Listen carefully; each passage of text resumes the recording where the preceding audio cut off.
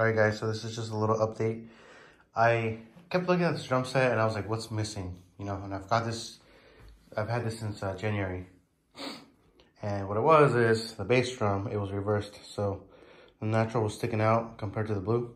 So now that I switched it, it looks a lot better, I think. Stands out a little bit more.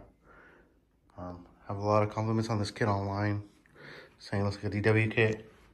I just always like this beach color, so yeah. Let me know if you guys like this more. And also, it's not a DW rack, it's a PDP rack.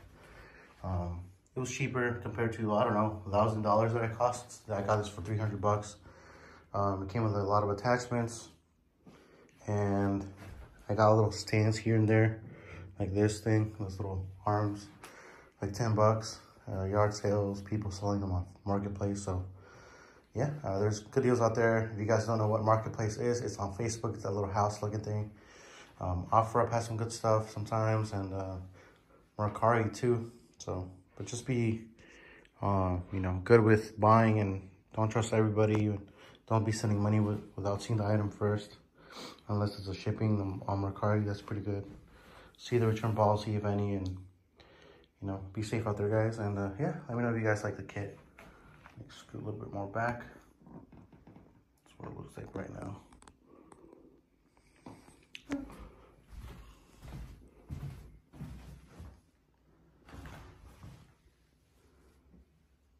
I still have more.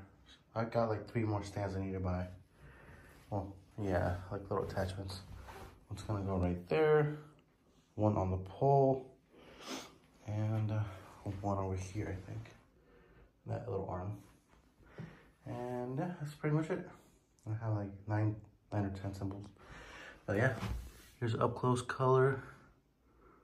I think it looks so beautiful.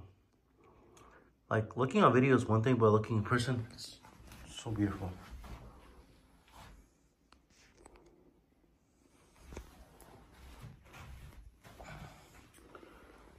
Yep. Thank you guys have a good rest of the day.